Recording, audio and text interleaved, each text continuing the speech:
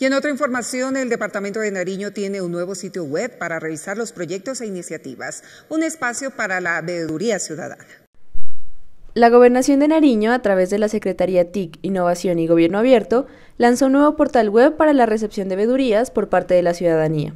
En esta ocasión queremos mencionar eh, el exitoso acompañamiento que hemos realizado en asocio con la Secretaría, la Subsecretaría de Desarrollo Comunitario, de la Secretaría de Gobierno del Departamento de Nariño, en construir un portal, un portal que servirá eh, a las vedurías del Departamento de Nariño. Eh, queremos ser un gobierno incluyente, tener mayores herramientas para eh, el desempeño de estas vedurías y por tanto se ha construido el portal esta página web, que cuenta con cuatro secciones, les permite a los ciudadanos establecer procesos de observación y vigilancia a la gestión de la administración departamental de una forma más sencilla. Este portal está conformado por cuatro secciones. En la sección Regístrate podrás ingresar tus datos y registrar tu veduría para ser parte de la base de datos de vedurías a nivel del departamento de Nariño.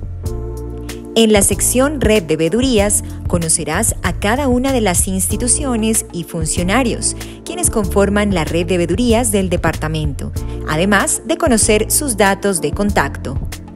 En la sección Noticias encontrarás toda la actividad, eventos y agenda que se viene desarrollando en la Subsecretaría de Desarrollo Comunitario de la Gobernación de Nariño, en pro del fortalecimiento de las vedurías en los territorios.